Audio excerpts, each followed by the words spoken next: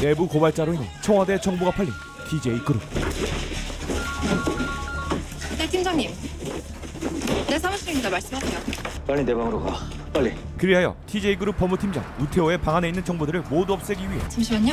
우태호의 신임을 받고 있는 직원 정희주가 나섭니다. 노트북 무조건 폐기해. 어떤 흔적도 남지 않게 완전히 소각해. 하지만 곧바로 들이닥친 검찰청 직원들 잠시만요. 뭡니까? 밀고 들어가. 무사히 탈출하나 싶었지만 이 모습을 법무팀 과장 최용근이 발견하게 되고 네 이사님. 이 일로 인해 정희주는 더 이상 돌아올 수 없는 강을 건너게 되는데 한편 모범 형사들은 여기가 그나마 인삼밭 전체 다 커버할 수 있는데 뭐가 보여야 잡지? 보이는데요? 요요이 인삼절도범을 추적 중인 인천 서부경찰서 강력이 팀 그게 망원경으로 본다고 보이냐? 저기선 망원경이에요.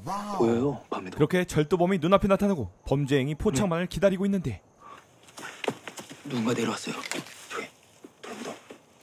그리고 평화롭게 똥탐을 즐기고 있는 한 형사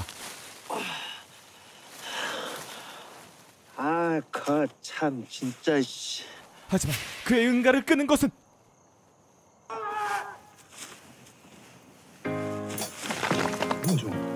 초거대 멧돼지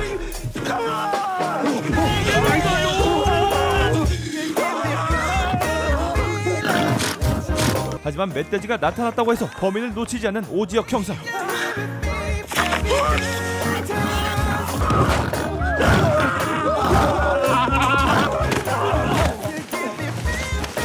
하지만 몸싸움을 벌이다 단추 하나가 뜯기는데 이것이 후에 큰 화근이 될 예정입니다.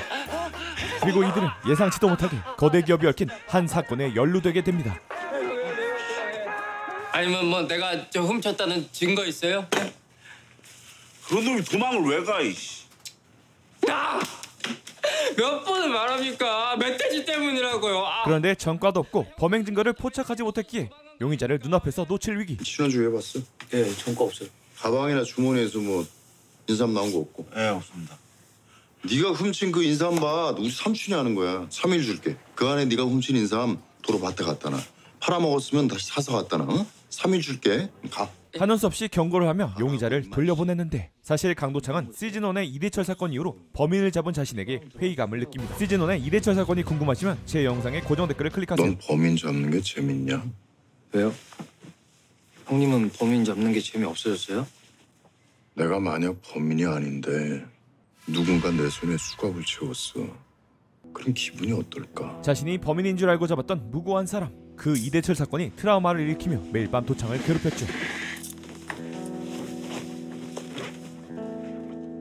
그리고 다음날 산속을 걷던 한 남자가 싸늘한 모습의 정의조를 발견하고 흰 가운 연쇄살인마를 쫓고 있는 서울 광수대는 속수무책으로 범인을 놓치는 중이었죠.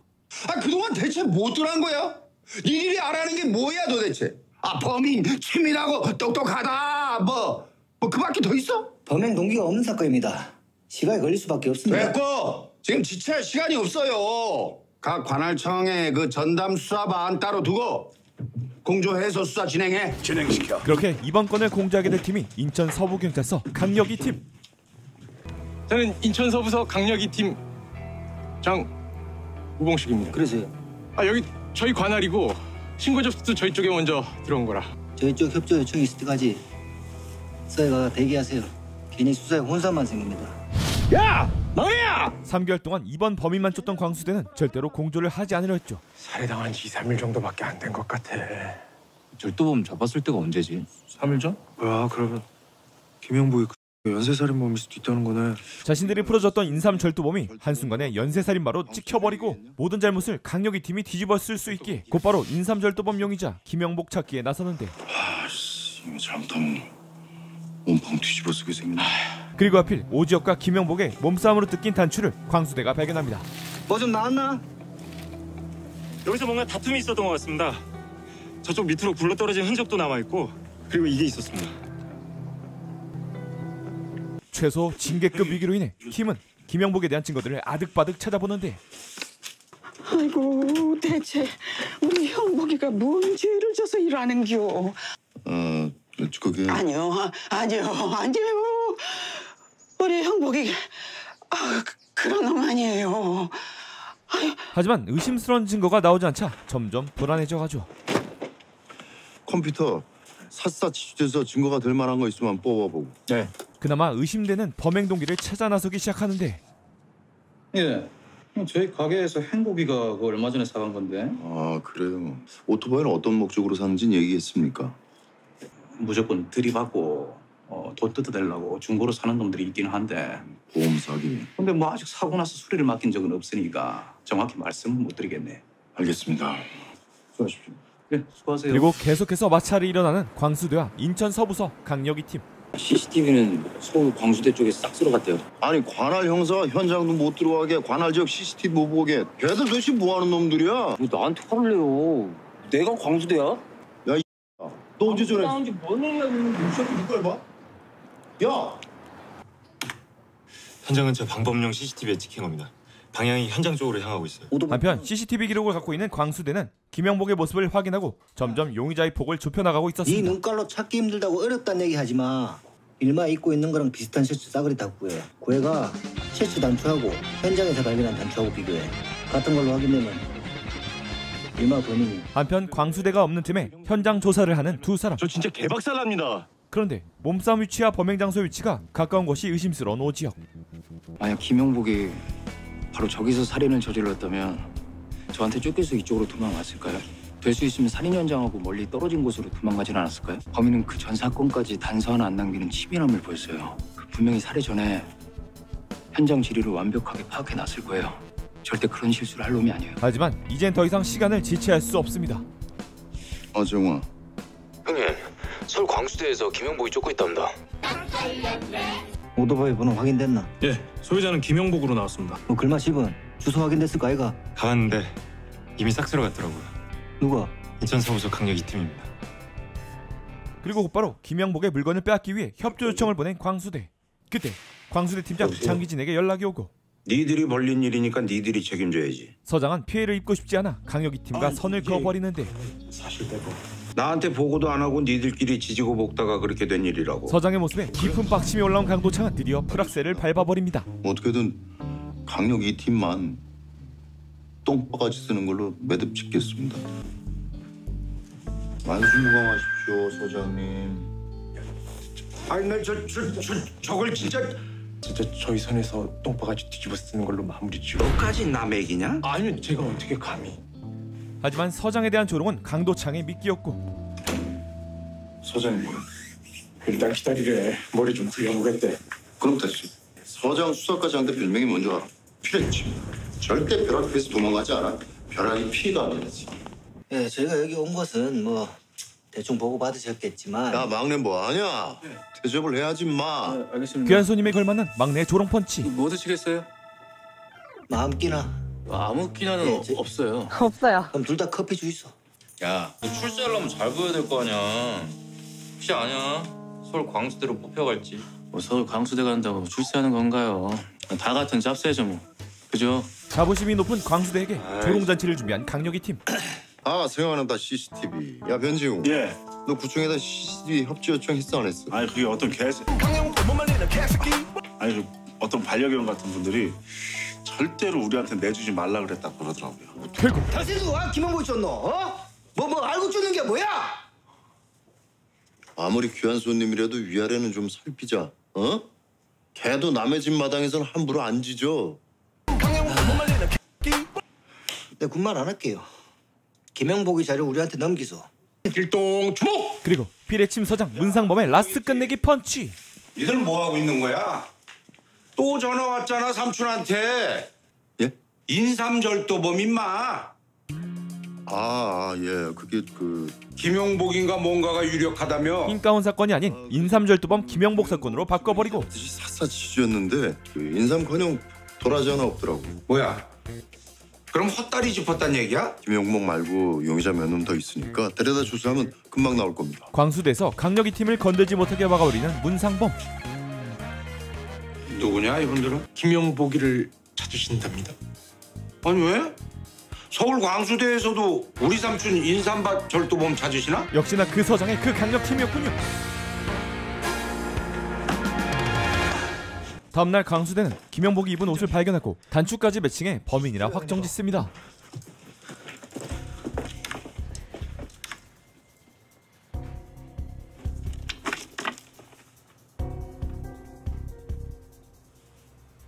김영복이 전국 수배 때리라. 수배자가 되는 순간 오지혁에게 한 통의 전화가 오는데 저 사업자 오주혁입니다. 예. 아 그래요? 사고 난 사람 이름이 확실히 김형복 맞죠? 아, 그럼 김형복 씨가 입원한 병원 좀 알 수 있을까요? 작은 단서로 오지는 경찰의 감을 이용해 미리 손을 써둔 오지혁. 어디서 연락 온 거냐?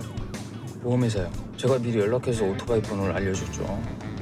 사고 나면 바로 나한테 연락하라고. 넌 그 오토바이가 사고 날 걸 어떻게 미리 알고 있었냐? 형님도 같이 들었잖아요. 무조건 들이받고 어, 돈 뜯어내려고 중고로 사는 놈들이 있기는 한데 딴 데서 핸드폰 받고 있지 않았냐? 귀는 두 개잖아요. 하다 하다 이제 신체 부위로 잘난 척을 하네. 그렇게 병원에서 간호사에게 수작 부리고 있는 김영복을 발견합니다. 안녕하세요. 형모가 잠깐만.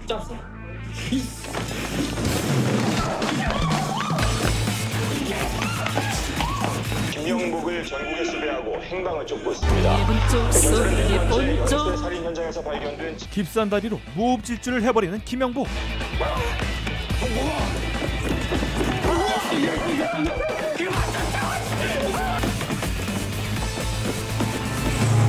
운 좋게 스쿠터를 GTA 해버리지만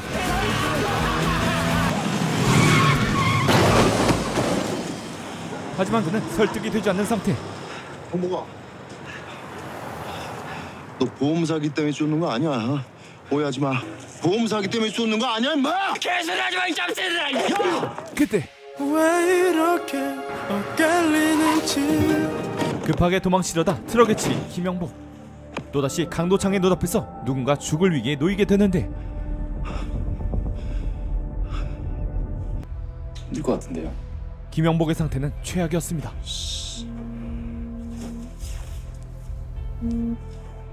예. 나중에 제가 시간 되면 다시 그리고 예상치 못한 일이 일어나게 됩니다. 예? 훔친 놈이 도로 갖다 놓은 것 같아요. 강도창의 경고에 따라 인삼을 제자리에 가져다 놓은 김영복. 김영복은 단순한 절도범이었습니다. 김영복 그놈이 갖다 놓은 거야. 그놈은 그냥 단순 철도범이야. 그런데 그날의 비극이 다시 일어났습니다. 그쪽에 다시 가실 필요 없을 것 같은데요.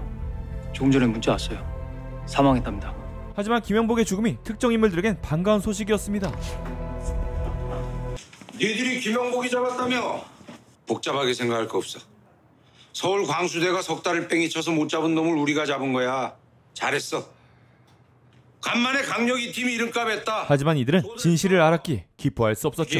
강도창. 사람이 죽었어요. 인간으로서 기본적인 예의는 지키고 삽시다.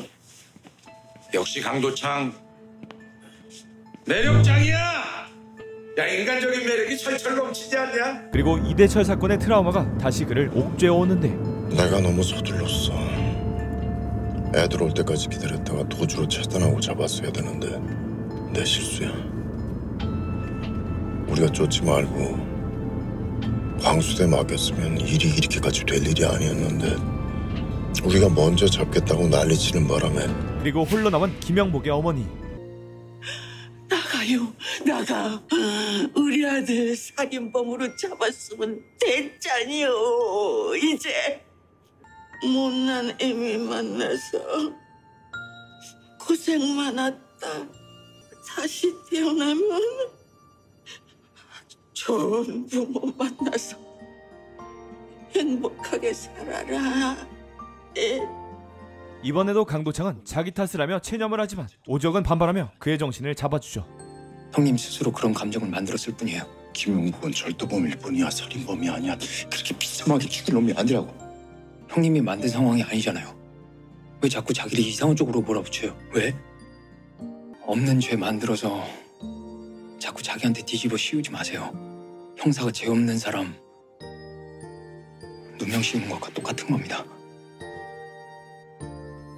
그리고 진실을 모르는 김영복의 어머니에게 강도창은 말합니다.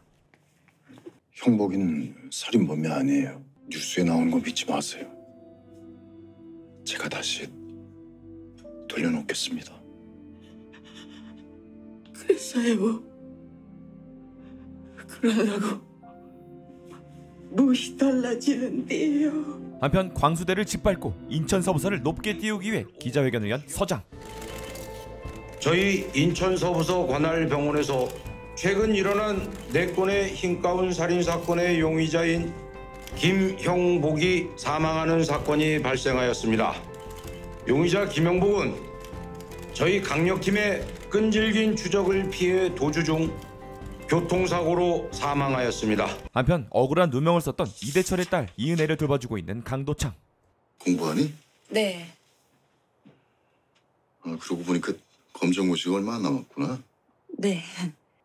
너무 밤늦게까지는 하지 말고. 도창은 은혜에겐 항상 미안한 감정이 앞섭니다. 저 아저씨 응, 왜 뭐? 강력팀 관두시고 다른 데로 옮기신다면서요. 강도창은 범인을 잡는 것에 대한 회의감으로 내근직을 생각 중입니다. 만약에 저하고 아빠 때문에 힘드셔서 그러신 거면 그러지 않으셨으면 좋겠어요. 전 아저씨가 강력팀 형사 하는 게 제일 좋아요. 그리고 아저씨가 제일 신나서 할 수 있는 일이잖아요. 그렇게 오늘 일어난 사건이 문득 이대철 사건과 다를 바 없다고 생각하며 체념에 빠진 도창은 이 길이 맞는가에 대한 깊은 생각에 빠집니다. 다 내 잘못이에요. 네가 무슨 잘못을 해? 네가 무슨 잘못을 했다고 그래? 이 바보 같은 놈아. 넌 아무 죄 없어. 그러려고 무엇이 달라지는데요. 다음날 기뻐해야 할 날이지만 인천 서부경찰서 경찰서장 문상범 김영복을 잡았다는 이유로 표창장을 받는 강도창의 표정은 어둡습니다. 그리고 경찰서에 한 어르신이 찾아옵니다. 여기가 저 강력 강력이 이 팀 맞나요? 예, 맞습니다. 감사합니다. 정말 감사드립니다. 얼마 전에 억울하게 죽은 정희주 할애비 되는 사람입니다. 여러분 덕에 우리 손녀애가 조금은 편하게 눈을 감을 수 있을 것 같습니다. 저도 사는 동안 여러분에게 감사하는 마음으로 살겠습니다. 정말 고맙습니다. 정말 감사드립니다. 감사합니다. 감사해하는 할아버지를 보며 강력이 팀에게 몰려오는 죄스러움. 아니 왜 그러냐? 어? 다들 잘 됐잖아. 그 얼굴 좀 펴라 제발. 난 이게 얼굴 편 거야 왜? 다름이 갖다 얼굴 더 쭉쭉 펴줄까? 나중에라도 김영복이 살인범이 아니라는 게 밝혀진다. 야, 우리가 뭐 일부러 걔 범인 만들려고 했냐? 그 뭐 사고 당한 게 우리 탓이야? 아니 표창 받았으면 그 포상 휴가 같은 거. 하지만 진정한 모범 경찰 킹지역이 나섭니다. 다들 휴가는 뒤로 좀 미루는 게 어떨까요? 김영복은 절도범이지 연쇄살인범이 아니잖아요. 그럼 진짜 연쇄살인범 잡아야죠. 게다가 우리 관할에서 일어난 사건인데. 모두의 마음속에 있었지만 누구도 꺼내지 못한 이 한마디. 야 오지요. 너 진짜 왜 그러니? 네가 그렇게 얘기 안 했어도 애들이 벌써 그렇게 하려고 마음 먹었어. 우리가 누구야?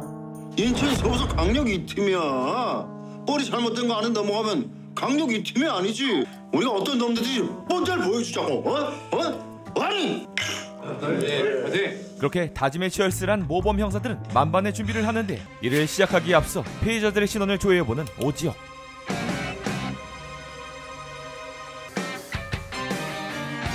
그리고 이때 과거에 연이 있었던 TJ 그룹이 눈에 밟혀 바로 조사에 들어갔죠. 여기가 정희주 씨 자리예요. 여기 있던 것들은 다 치운 건가요? 아, 네. 정희주 씨 집으로 다 보낸 걸로 알고 있어요. 그때 아이고 이게 누구야? 지역과 불쾌한 안면이 있는 듯한 남자가 들어오는 오랜만이다 오지요. 안녕하세요. 복귀했다는 얘기 들었어. 저 팀장님이 이쪽으로 옮기셨다는 얘기 들었습니다. 정희주 씨 사건은 서울 광수대에서 종결시킨 걸로 알고 있는데 어쩐 일로? 음, 제가 다른 별개의 사건을 쫓고 있는데 그게 이 사건하고 연관이 좀 있는 것 같아서 않고 옵니다. 그럼 가보겠습니다. 음, 고맙습니다. 그리고 경찰이었던 최영군뿐만 아니라 과거에 알았던 사람들이 모두 모여 있었습니다.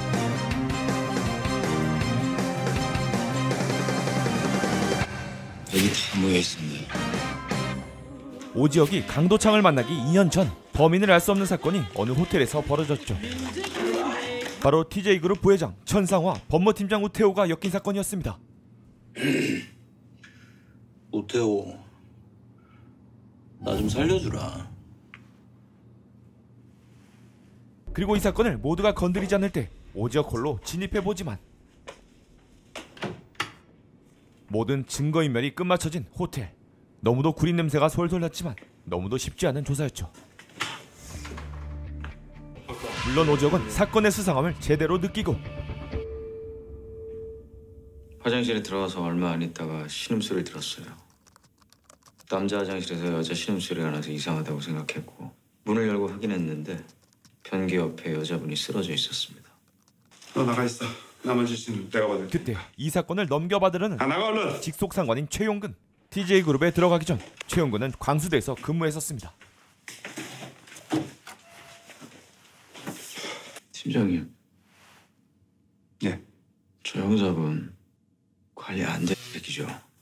괜찮으세요? 한편 피해자를 찾아가 보지만 TJ그룹에서 이미 손을 써둔 상태였죠 서울 광수대 오지혁 형사입니다. 혹시 범인 얼굴은 보셨습니까? 그녀는 어쩔 수 없이 TJ그룹의 거래를 받아들여야 했습니다. 그리고 사건을 조사하던 오지혁을 멈추기 위해 그의 정보원을 허위로 잡아들이고 네, 다 자백했습니다. 넘겨 그럼. 제 정보원입니다. 그러니까 너 검사 좀 받아봐야 되겠다. 최영구는 오지혁에게 가짜 증거를 들이밀고 이해해라. 나도 어쩔 수가 없어요. 그 시키가 너한테 줬다고 자백을 해버릴 거다. 시간 낭비 마시고 다음 카드 보여주시죠. 카드 보고 제가 어떻게 할지 선택하겠습니다. 이렇게 해서 오지혁은 1년 휴직을 했던 것입니다. 죄 없는 제 정보원도 풀어주시죠. 풀어줘야지 뭐. 그 시키가 너한테 줬다는 증거가 없는데. 특수폭행죄 공소시효가 7년이라는 거 알고 계시죠? 휴직이 끝나고 한판 붙겠다는 경고를 하는 오지혁. 자, 선물. 이에 맞춰 피해자 김민지도 미국으로 보낸 TJ그룹. 김민지 환자는요? 한 시간 전쯤에 다른 병원으로 이송되셨어요. 혹시 어느 병원인지 알 수 있을까요? 국내는 아니고요. 미국에 있는 병원이에요. 이렇게 TJ그룹과의 깊은 악연이 있는 오지혁.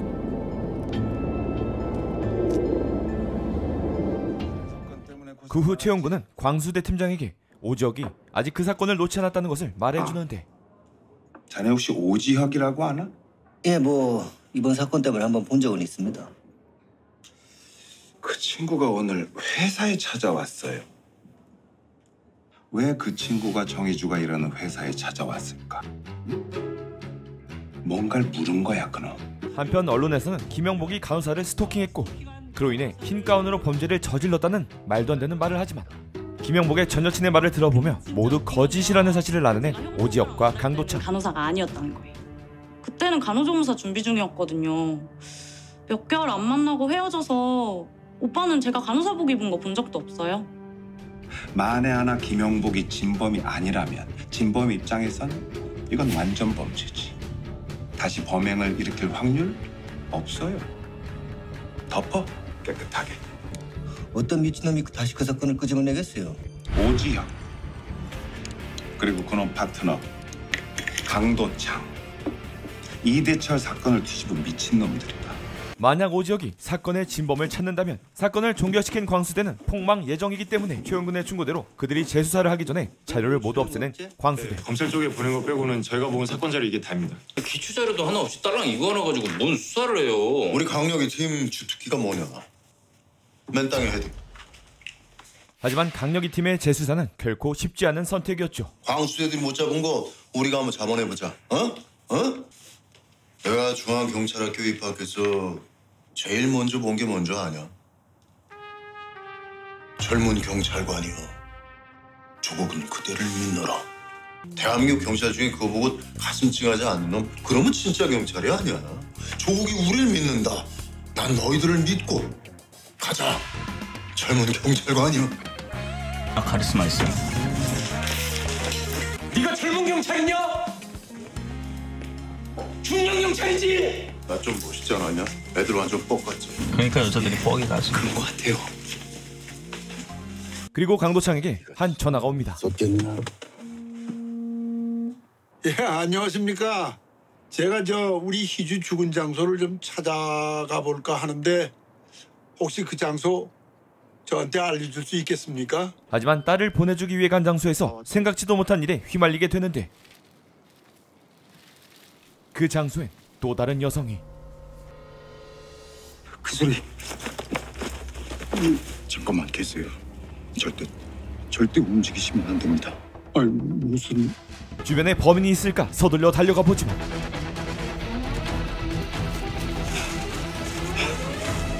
이미 사라진 후였죠.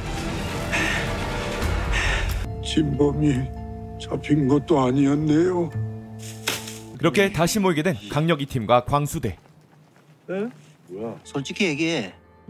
당신들 이번 사건 저지른 놈에 대해 뭔가 알고 있었던 거지. 알고 있으면 얘기했지. 같은 경찰인데 숨길 이유가 없잖아. 우리가 알고 있는 건 김영복이 진범이 아니라는 거예요. 이제 그쪽도 인정해야 되는 거 아닌가? 이 사건을 통해서 범인은 얘기하고 있는 겁니다. 진범은 김영복이 아니라 김영복이도 당신들이 우리한테 넘겼으면은 가는 안 죽었어. 뭐 이 당신 쪽 사람들도 같이 데려가. 현장은 우리가 만든다. 뭐, 야, 그거 뭐말 같잖아 소리야. 제가 얘기할게요. 내가 왜이 말을 들어야 되는데? 내, 내, 내 사건이래잖아요. 그 얘긴 이 사건을 연쇄살인과 별개의 사건으로 보지 않는다는 거죠. 지, 자기 입으로 인정했으니까 넘겨야죠. 가요. 이게 왜 네 사건이야? 야, 다만 피해자 사건이고 피해자 가족 사건이지. 이 생각 자체가 썩어 문드러진 이. 야, 이 야, 형님. 광수대가 현장에 집착하는 사이 이들은 범인을 찾아 나섭니다. 이번엔 우리가 무조건 먼저 잡는다. 현장은 저쪽에서 잡고 있어요. 시작부터가 늦어요. 우리. 그딴 거다 필요 없어. 발로 먼저 뛰는 놈이 앞서는 거야. 한편 예상 범행 시간대에 실종된 사람들을 찾아 나서는 강력 2팀. 방금 실종 신고 들어왔대요. 그 20대 여대생이고 학교에서 모임 끝나고 집으로 출발했다는 게 마지막 통화였답니다. 온 동네를 조사한 결과 피해자를 찾아냈고 근처 CCTV까지 확보에 성공합니다. 아직 귀가 안 했고요. 핸드폰 역시 꺼져 있어요. 그리고 사진 확인해 봤는데 우리가 현장에서 본 그 피해자 얼굴하고 거의 일치해요. 저녁 8시경에 집 앞에 있는 버스 정류장에 도착해서 하차하는 장면까지 찍혔습니다. 지금까지 일어난 연쇄살인의 피해자 납치 추정 장소에는 전부 CCTV가 없어요.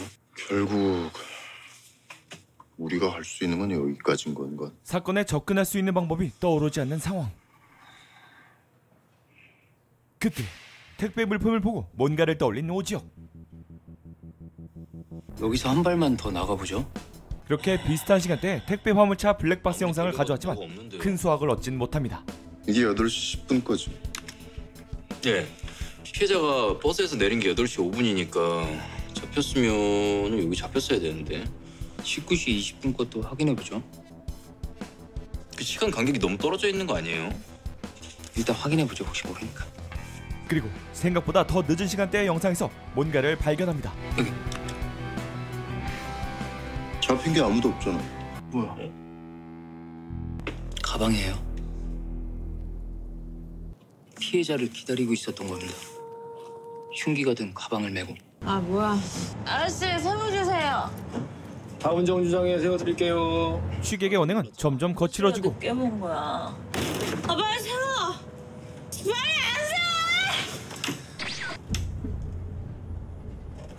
뭐? 그런 눈으로 보면 어쩔 건데? 와, 나 이 아저씨 완전 무서워. 빨리 세 참다 못해 결국 중간에 내려주는데 내려요. 내려요. 아까 내려줬어야지. 아저씨 thank you. 결국 차를 돌려서 여성을 내려주는 버스 기사. 아 천사인가? 너도 나랑 자고 싶니? 주제는 없는 생각하지 말고 그냥 그렇게 쭉 살아. 바닥 키면서 평생 아니 근데 이 표정이 이미 뭔가 뭔가 뭔가 뭔가 끊겨버린 표정이야. 이거 젊은 사람이 못됐네. 그렇게 기사의 심기를 건드린 추객은 결국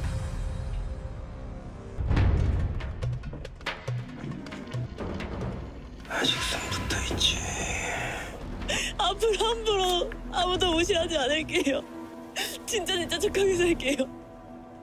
저한 번만 한 번만 살려주세요 제발. JTBC 토일 드라마 모범 형사 2 일명 흰가운 사건의 진범을 찾는 인천서 강력이 팀 여기가 성월동 맞죠? 예 맞아요. 그리고 피해자를 알고 있는 버스 기사를 만나지만 거긴 워낙 타고 내리는 사람이 없어서 가끔씩 이 학생 혼자 내렸던 게 생각이 나네요. 저 혹시 이런 가방 맨 사람이 거기서 내린 건 기억하세요? 아, 제가 승객 있는 가방까지는 기억을 못하죠. 블랙박스에서 본 용의자를 찾는 건 하늘의 별 따기 수준이었죠. 그렇게 증거가 하나도 없자 도창은 검은 가방이 범인이 아닐 거라 생각하지만 어때요? 범인 냄새가 좀 나요? 자신의 감을 믿는 인천서 에이스 지역 범인은 정류장이 보이는 이곳에 서서 피해자가 올라오길 기다리고 있었어요. 그러다 헤드라이트 불빛이 보이자 급히 벽 쪽에 몸을 숨긴 거예요. 만약 차를 피하려고 몸을 옆으로 비킨 거라면 다가오는 차를 보면서 피하지 등을 보이고 피하는 사람은 없어요. 그리고 범인은 자신이 찍힌 블랙박스를 찾은 경찰이 흥미롭기 시작하는데. 분신 부리겠죠 뭐. 가방이 너무 손해가지고. 잘 보이지도 않고. CCTV를 매우 흥미롭구만. 한편 흰 가운 사건의 모방범이라 발표한 광수대는 국가수의 결과를 믿지 못하는데. 그전 사건들과 살해 수법이 거의 100% 일치한답니다. 그쪽에선 동일범이라고 결론 내렸답니다. 현장에 대해 뭘 한다고? 그렇게 광수대는 인천서를 경계하는데 뭡니까 이게? 저희가 다 확인해 봤는데 이 사진 대체 어디에서 나온 겁니까? 야 그러게 왜 거기다 네 명함을 붙여놔? 인천서에게 실적을 빼앗길 위기에 협조 요청을 빙자한 협박을 시도합니다. 그날 사건 현장에서 뭔가 알아낸 거죠. 서울 광수대가 무슨 권력이야?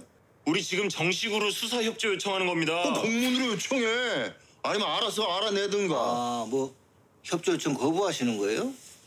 나중에 큰 문제 되지 않겠어요? 예? 그럼 우리도 조건을 달겠습니다. 지금까지 연쇄살인 사건 기록 저희한테 공개하시죠. 하지만 이미 다 삭제해버린 광수대 그저 웃지요. 호호호. 그래 범인이 잡고 싶으십니까? 바로 내 눈앞에서 살인이 일어났어. 내 손으로 그놈 잡아야 돼. 범인 못 잡으면 형사로서 평생 쪽팔릴 거야. 니들이 작성한 허접한 사건 기록 다 필요 없어. 그냥 우리 수사 방해만 하지 마라. 278시간입니다. 278시간을 6으로 나누면 46시간 20분. 찾았습니다. 마침내 용의자와 똑같은 가방 모델을 찾고 46시간 CCTV 검토 온라인을 시작한 인천서와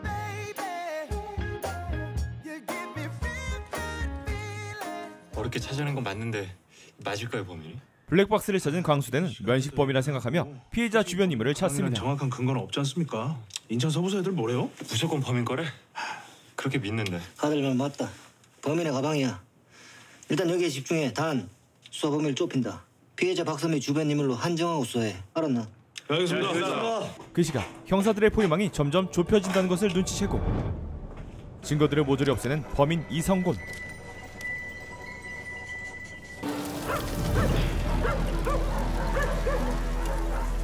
한편 또다시 광수대와 인천서의 신경전으로 골치가 아픈 서장 문상범 얘기 참 잘 만들어내. 그런데 강력이 팀은 지금 휴가 중이었네요 애들 뭐 하는지 알아봤어?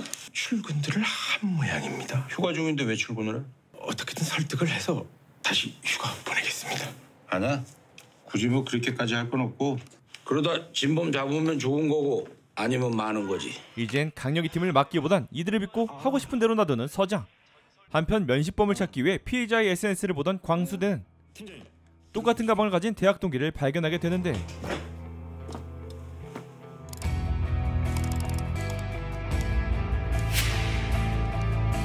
하지만 그 대학 동기는 자신도 모르고 있는 사이 박선미의 물품을 가진 이성곤의 미끼 역할을 뒤집어 쓰게 되죠.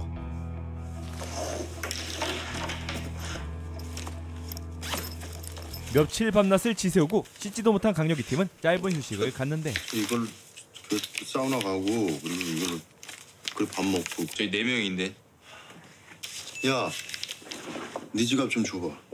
카드 한도가 얼마예요? 한도? 그런 게 있어? 아니, 난 카드에 한도 있다는 얘긴 처음 들어와서. Gucci gang, Gucci gang, Gucci gang. 예, 인천 서울서 오재욱입니다. 예, 제가 사무실에 명함 남기겠습니다. 이때 검은 가방을 본 버스 기사한테서 전화가 오는데 예, 제가 거기로 가겠습니다. 시간 얼마 안 걸립니다. 예. 그런데 제보 전화를 한 사람은 범인 이성곤이었습니다. 그 가방을 맨 승객을 보셨다는 겁니까? 예. 승객이 맨 가방을 기억하는 게 쉽지 않았을 텐데 어떻게 기억을 하셨습니까? 이성곤의 너무나도 정확한 기억을 의심했던 두 사람은 그의 목격담을 듣고 납득하게 되죠. 나 내릴 거야. 따라내자. 야 여기까지 왔는데 나보고 어디 가라고 우리 엄마한테 걸리면 나 진짜 죽음이야. 그리고 왜 따라와? 너하고 나 그냥 과동기 사이일 뿐이야.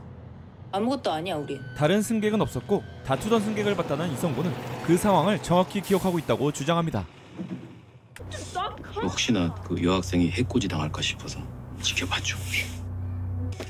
아니 괜히 제가 한 얘기 때문에 그 남학생 의심받게 되는 거 아닌가요? 뭐 좀 더 두고 봐야죠. 그 시각 이성곤에 믿긴 피해자의 동기를 낚아채는 광수대. 최우준 학생 맞죠? 생물학과. 예 맞는데요. 같이 좀 가주셔야겠네. 어, 왜, 왜요? 이거 살해된 박선미 핸드폰이야. 이기와 네 가방에서 나왔는지 설명 좀 해줄래? 몰라요. 진짜 좀 몰라요. 아니에요, 진짜 아니에요. 좋아하던 동기가 죽은 것도 모자라 난데없이 자신이 범인으로 몰린 학생은 공포에 떨고 있는데 이거 너 혼자 한 거 아니잖아. 그지? 공범 있지? 둘이서 짜고 흰 가운 연쇄 살인 사건으로 하지만 진짜 아무것도 모르기에 아무 말도 못하는 학생 경찰은 고도의 수법이라 생각하며 그를 죽일 듯한 눈빛으로 바라보죠 자백했어? 아니요 아직이. 가방에서 피해자 핸드폰 나왔다면서? 예. 이렇게 되면 모방범이라는 자네 얘기가 맞는 건데? 아직 확실한 건 아닙니다. 저 친구 알리바이도 확인해야 되고 공범이 있는지도 확인해야 될 것 같고요. 빨리 끝내자. 언론에서 자꾸 이상한 소리 나온다. 이 가방 한편 뒤늦게 피해자의 동기들을 찾아온 지역과 도창 최호준인데요. 우리 과 친구예요. 최호준 지금 어디 있어요? 연락돼요? 아까 형사들한테 잡혀갔는데요. 하지만 아직 범인이라 단정 짓긴 일러 좀더 넓게 조사하려는 두 사람 일단 최호준 쪽은 그쪽을 계속 맡기고 우린 우리대로 계속 수사하고 있으면 돼. 그렇게 미끼를 던져 수사에 혼선을 가해 편하게 일을 하고 있는 이성훈 아, 그러던 중 인트로에 이 여성을 만나게 된 겁니다 아 뭐야. 아저씨 세워 주세요. 다음 정류장에 세워드릴게요. 내가 벨 눌렀잖아. 아 계속 가면 어떡해. 여기 정류장 아니잖아요. 안 돼요. 아씨. 내가 아까 벨 눌렀잖아. 지난 다음에 눌렀잖아. 아저씨가 늦게 본 거야. 아 빨리 세워. 아씨. 거기서 우리 집이 얼마나 먼데. 아씨 빨리 안 세워. 이렇게 취객을 보며 살기를 내뿜는데 뭐 그런 눈으로 보면 어쩔 건데? 와, 나 이 아저씨 완전 무서워. 빨리 세! 아저씨 thank you. 결국 중간에 세워 내려주지만 최상급 어그로를 시전하는데 주제 넘는 생각하지 말고 그냥 그렇게 쭉 살아. 바닥 키면서 평생. 이때 이성곤은 빡침을 넘어 흥미를 느끼는 표정을 짓습니다. 다음 타깃으로 말이죠. 다음날 강남의 한 미용실을 찾아온 지역. 오신다니까 딴 손님 예약 받지만 오랜만입니다. 미국에선 언제 돌아오신 거예요? 누구시죠? 2년 전에. 이 여성은 광수대에 있던 지역이 조사하던 사건의 피해자이며 저 죄송한데요. 전 전혀 기억이 안 나네요. TJ 그룹이 덮은 사건의 전말을 아는 여성이었죠. 알바로 돈을 많이 버셨나 보네요. 강남에서 이 정도 규모면 꽤 될 텐데. 투자 받은 거예요. 갑자기 미국에 가시는 바람에 수사가 중단됐어요. 중단된 게 아니라 끝난 거예요. 억울하지 않으세요? 지역은 아직도 그 사건을 잊지 못해 밝히려 하지만 저 다 잊었어요. 입을 담은 피해자 김민지. 다시 기억하고 싶지 않아요. TJ 그룹 비서실 콜 받고 그 클럽에 가신 거죠. 천상우 부회장이 거기 있었고요. 아 깝샷. 그때 손님 때문에 조사가 멈추는데 원장님 오셨어요. 그래 알겠어. 그럼 또 뵙겠습니다. 하필 그 손님은 TJ그룹 천성대 회장의 딸이자 이사인 천나나.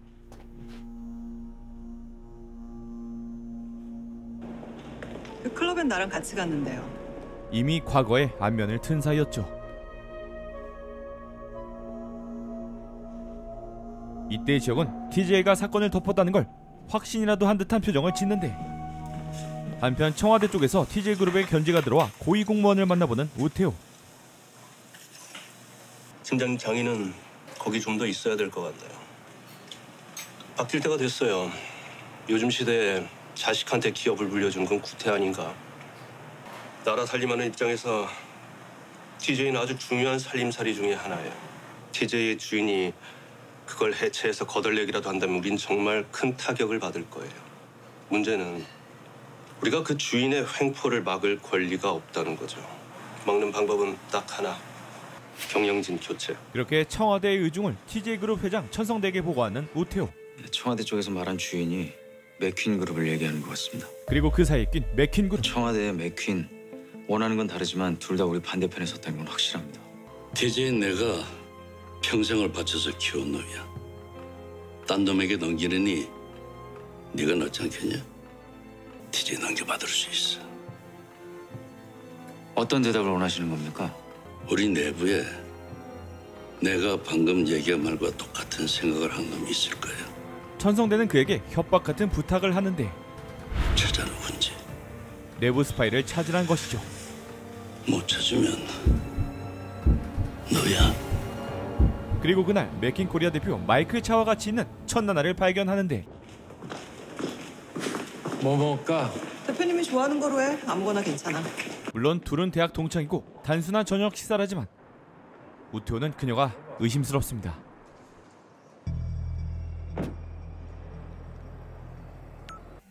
나는 더 했니? 한편 TJ든 맥킨이든 그딴 건 필요 없고 초비상사태가 떨어진 문상범 서장.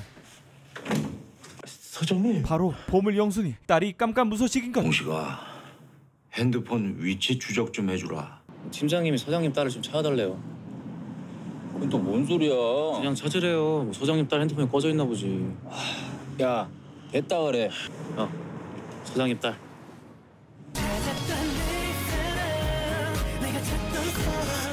그자 빨리 찾으러. 위험해 요즘에는. 결국 서장의 딸을 찾아냅니다. 걱정하 실 텐데 집에 가셔야죠. 오케이 선차. 하나, 둘, 셋. 감사합니다. 아니 도대체 얼마나 취했는지 생맥을 숙취 해도제처럼 들이키는 서장의 딸 문보경. 애인이에요? 그랬으면 좋겠네요. 서장님 따님이세요. 야, 너 왜 그랬어? 아빠가 걱정 얼마나 많이 했는 줄 알아? 누구야? 누가 그렇게 널 괴롭혀? 아 내가 왜 그런 무시를 받 보경은 TJ그룹 인턴으로 오늘 호되게 깔고 진탕 펌하셨죠. 다니지 마. 그런 데서 뭐하러 갔다 다녀? 단도, 단도, 괜찮아. 울지 마. 이어서 도창과 지옥까지 가게에 들어오는데 아이고야. 뭐? 소장? 엇갈려버린 호감 관계. 보경이구나. 오, 야, 이 진짜 많이 컸다. 예. 보경아, 날 좀 봐. 형사들은 다 그렇게 잘생겼어? 뭐? 뭔 소리야 너 지금? 난 형사들이 다 아빠처럼 생긴 줄 알았거든?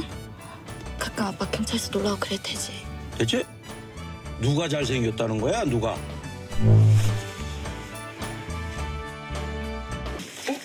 형님 안녕하십니까? 다음날 큰 오해 한 판이 벌어지고 너지? 예? 우리 딸 술집에서 업어 데려온 놈이 너지?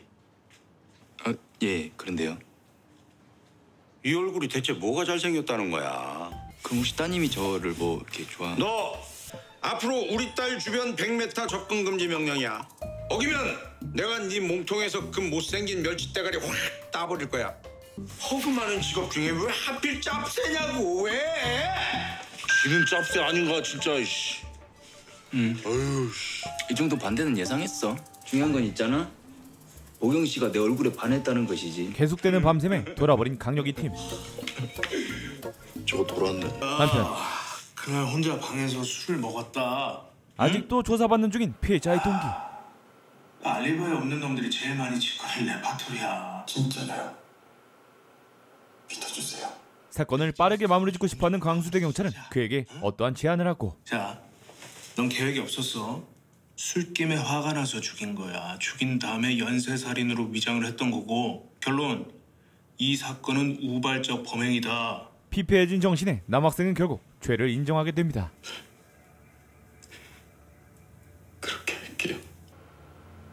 뭘 어떻게? 해? 그냥 그냥 형사님 말 그대로. 그러니까 제발 그만하세요. 하지만 아직 한 가지가 더 궁금한 게 있는 광수대 팀장. 하나만 더 확인해 보자. 여기가 어디예요? 왜 나 여기로 데려온 거예요? 범행 장소에 남자를 데려왔지만 겁에 질려 다리까지 풀리게 되는 장면을 목격하고 장기진은 진범이 맞는지 순간 의심이 들게 아 되죠. 이거 절차야. 네가 해야 돼 임마. 야!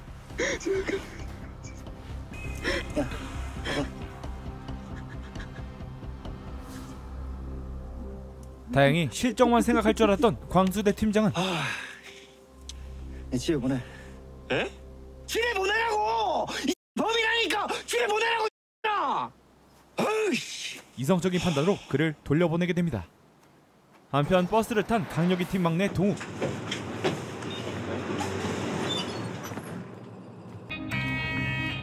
그때 노선도를 보고 뭔가가 떠오르는데 설마 이 버스가?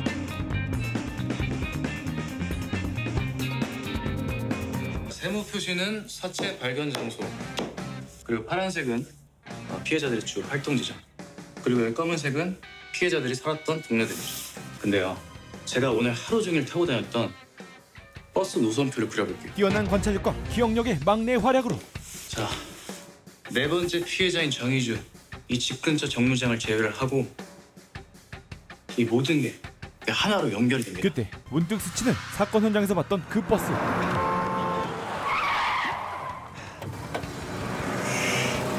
범인이 버스를 타고 범행을 저질렀다면은 버스 하루 종일 타고 돌아다녔을 텐데 하루 종일 버스 CCTV에 찍혀도 사람들의 관심 밖에 있는 사람.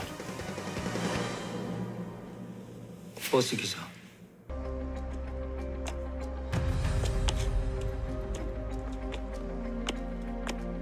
그리고 버스 기사 이성구는 현재 자신의 심기를 거슬렀던 취객을 미행하고 있습니다. 지금 두 대가 운행 중이에요.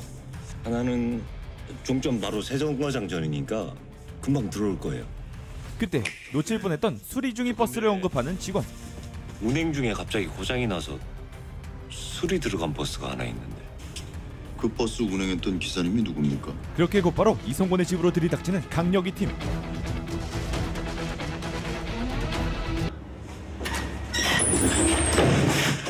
하지만 역시나 비어있는 집안.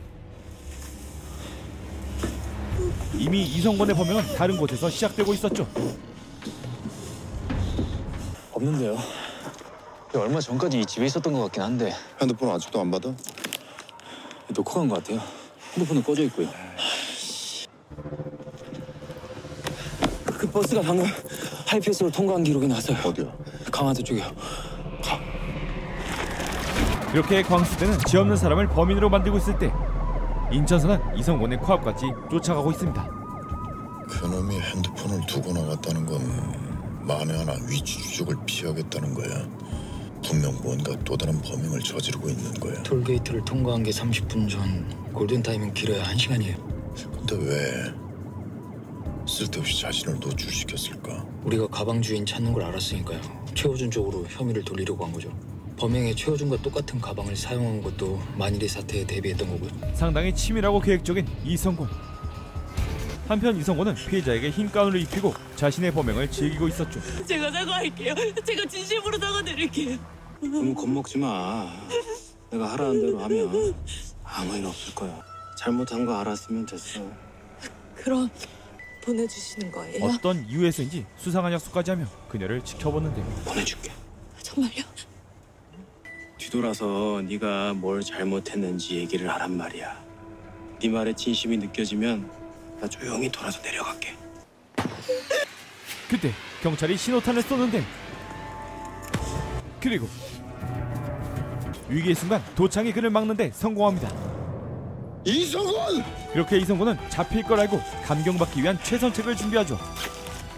취한 듯한 그의 상태. 무슨 일이신데요? 움직이지 말고 손 들라고. 이- 움직이지 말고 손 들라.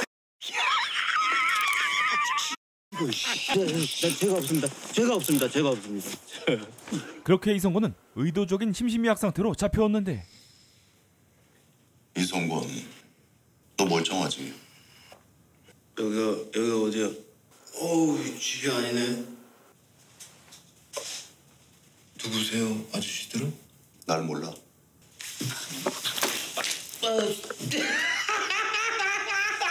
정신 못 차려? 넌 버스까지 몰고 여자를 산속으로 끌고 갔어. 산속에서 요리조리 도망까지 다녔고 머리 제대로 굴리는 놈 아니면 절대 못하는 짓이야. 내가 또 무슨 뭐 잘못을 저지르긴 했나 보네. 이성곤은 기억이 없는 척하며 형사들을 우롱했죠. 기가 진짜. 그리고 이성곤의 수법이 통하게 되는데 아아아아아 아, 아, 생각났다. 아 그 여자애 때문에 그러는구나. 뭐 진짜. 아니, 너한테 억울하게 당한 여자가 그런 생각해봐. 그게 인간의 입에서 나올 소린가? 이 짐승만 또 야. 아우 좀 참으세요. 이제 뭐 모든 경우의 수를 계산하고 움직이고 있어요. 그때 나중에 심신미약 상태에서 자백을 강요받았다고 진술할 겁니다. 오적은 이성곤이 노린 수법을 정확히 캐치하죠. 천천히 신문하시죠. 시간을 두고 아주 천천히. 그 형사 그 뭐야. 나 가지고 놀아? 형사를 우롱하던 이성곤은 수법이 들통나자 차선책을 생각하는데 아, 이 동네 형사 이게 나 이성골이야!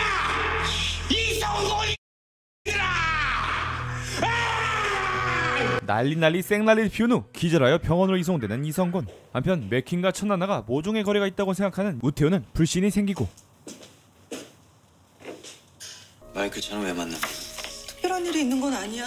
만나서도 별 얘기 안 했고. 대학 때 얘기 좀 하다가 헤어졌어. 그 친구 맥킨 코리아 대표야. 우리랑 엮인 게 많아. 나한테는 그냥 대학 동창일 뿐이야. 누가 날 의심이라도 한다는 얘기야? 우태우의 말에 이상함을 감지한 천나나는 천상우 부회장? 배신감을 느낍니다. 오빠가 나 감시하라고 한 거야? 내가 묻잖아. 변명이라도 좋으니까 내가 납득할 수 있게 해명이라도 하라고.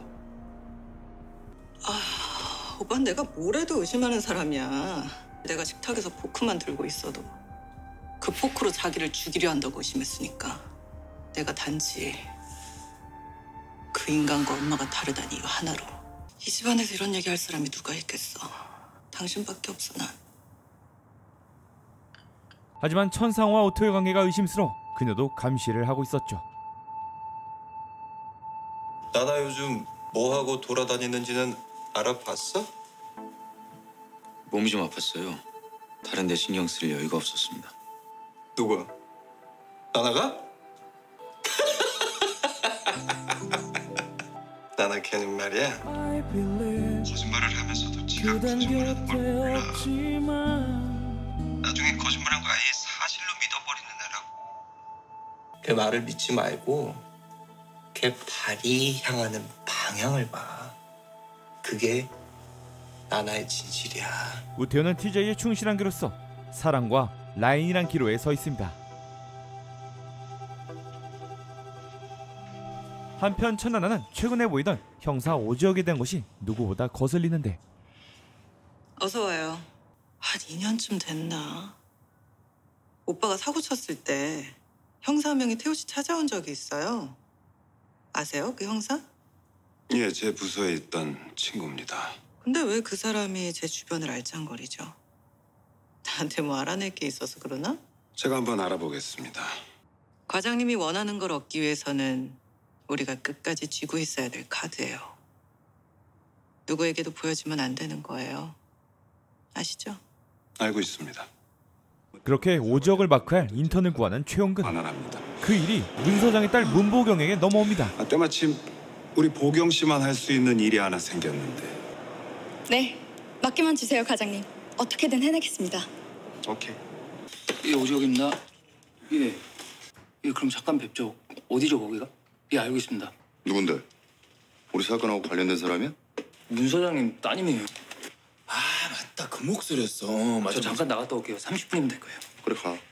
야, 처신 잘해라. 서장 딸이야. 서장한테 잘못 보면 우린 바로 아웃이야. 특히 너 그 수상한 눈빛 함부로 날리지 마라. 혹시 서장 딸이 잘생겼다고 한 형사가 형이 아니고 야, 나한테 직접적으로 얘기하기가 뭐하니까 내 주변 사람들 통해서 내 감정을 확인하시겠다. 음, 내가 여자를 몰라? 미친놈 차려. 영고백 1참 당해버린 권재용. 한편 보경이 첫눈에 반한 남자와의 첫 대면이 하필 안녕하세요. 이거 확인해 보시고요. 만약에 김민지 씨에게 한 번만 더 접근하시거나 통화나 이메일을 보내실 경우 소송 절차에 들어가시게 될 거예요. 회사 경영진 접근 금지 통지서를 전달하는 일. TJ에서 어떤 일을 하고 계신 거죠? 법무팀이에요. 그리고 또다시 언급되는 그 법무팀. 그냥 업무일 뿐이에요. 이게 그렇게 팀장이 우태호, 과장이 최영근. 그딴 거 따지지 마시고요. 그냥 김민지 씨에게 가까이만 가주지 말아주세요. 짝사랑 남과의 첫 만남은 최악이었죠. 하지만 오지혁은 서장의 딸이 법무팀에 소속된 것을 의심스러워하죠. 희생자 중에 정희주가 TJ그룹 법무팀 직원이었던 거 알고 계시죠? 알지. 그 정희주 빈자리에 문보경이 들어온 것 같아요. 뭐야? 우연히 그렇게 된 거야? 만들어진 우연이죠. 누군가 정희주가 있던 그 자리에 문보경을 채워 넣은 거죠. 누가? 천하나. TJ그룹 기획실장이고 회장의 외동딸이에요. 전 서울 광수대 팀장 최용군도 아마 연관이 돼 있을 거예요. 지금 TJ그룹 법무팀 과장이거든요. 이상하게 맞아떨어지는 우연 그리고 과거의 사건과 얽히면서 인천 서를 경기하는 TJ 그룹 한편 TJ 그룹을 신경 쓰기 전에 이성곤부터 마무리 지어야 하는 인천서 죽겠냐? 왜 그랬어? 왜 그렇게까지 처참하게 여자들을 죽였냐? 아 죄송해요. 나, 나 진짜 기억이 안 나요. 아니 그한 거는 인정해요. 하지만 고도의 심리전을 펼치며 여러 명을 죽인 범죄자가 단순 우발 범죄자로 둔갑하려고 하는데 그 CCTV 보시면 형사님들도 아마 열받으실 거예요. 그런 애들은요 한번 따끔하게 혼을 내줘야 돼요. 그래야 잘못한 걸 알아요.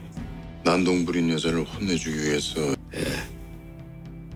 그럼 왜 피해자가 흰 가운을 입히고 입술에 립스틱을 발랐어?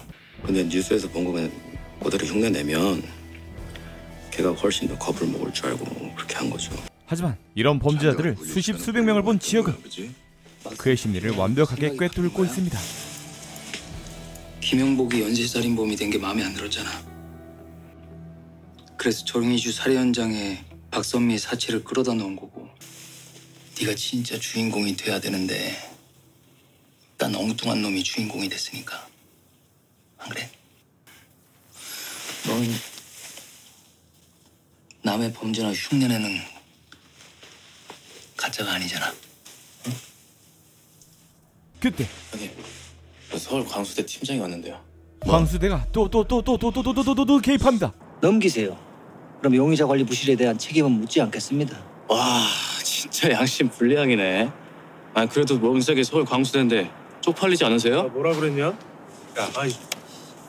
하지만 이성곤 데려가. 이성곤을 이들에게 넘기는데 예. 잠도 제대로 못 자고 뺑이 쳤을 거 아니야 범인 잡느라 체면 치료나 하게 해야지. 단 조건이 있어.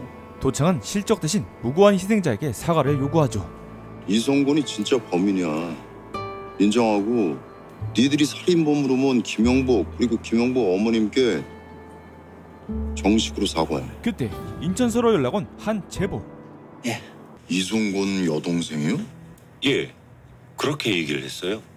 이성구는 고아 출신이라 가족이 없을 텐데요. 저도 그렇게 알고 있었는데 한 달 전쯤 이 기사를 찾아왔더라고요. 한국말을 잘 못해서 누가 옆에서 통역을 해줬어요. 해외에 입양된 사람 같아요. 이름도 영어 이름이었고요. 평생을 혼자 산 것으로 알려진 이성곤의 숨겨진 여동생이 있다는 소식에 이들은 급히 찾아가 봅니다. 그리고 언프리 토킹 실력을 뽐내는 도창. Do you know 이송곤? 잠깐 자리 좀 비워주시겠습니까? 예? 야, 어떡하려고 얘기가 안 통한다잖아. Some personal matters might come up. It might be better if she stayed outside. 형 통역하면 될 걸. Do you know? Do you, do you know 이송곤? We couldn't talk much because he didn't speak English, but I think he, he didn't like the idea that I came to see him. What did you talk about? I know you've been hospitalized for stress disorder. Did something happen during that encounter? Mr. Lee is currently locked up. He's charged with a series of murder. 하지만 Did he happen to mention anything to you? 이성곤에 대한 생각들은 그녀를 괴롭게 만들죠. 충격 주는 얘기를 하지 말랬잖아. 알아들으셨어요? 나 무시하냐? Do you know 이송곤? MUR. 머더 살인. 살인 얘기 나오니까 충격받은 거 아니야? I'm sorry. 그리고 밝혀지는 Him and I, we're not actual siblings. 이성곤의 과거. When I was little, my mom got divorced and got remarried. My stepdad had a son, and that's who Sungun is. We're not blood related at all. The only reason why I wanted to find him was because I, I needed some kind of a trace from when I was in Korea because I thought this would my, be my last visit ever to this country. Are you trying to say that you have no emotional connection with him, either now or in the past? And to be honest, I really don't want to talk about him. You understand, don't you? 그렇게 제대로 된 정보는 얻지 못했지만 동생이 말 못할 일을 숨기고 있다는 걸 눈치챈 두 사람. 이송곤 그놈한테 뭔가를 들었어. 감추는 게 있는 거야. 아니 영어를 알아들으신 거예요? 사람은 말보다 표정이 더 진실일 때가 있는 거야. 이송곤 만나서 여동생 얘기 한번 꺼내보자. 어릴 때 헤어진 여동생 있었지. 그런데 그 얘긴 이성곤의 영린이었죠. 그 여동생분이 너에 대해서 좀 알고 있는 것 같던데? 아이씨, 그 아이 과거가 어땠는지 모르시잖아요, 형사님들. 과거가 어땠는데? 그냥 다시 만나면 전해주세요.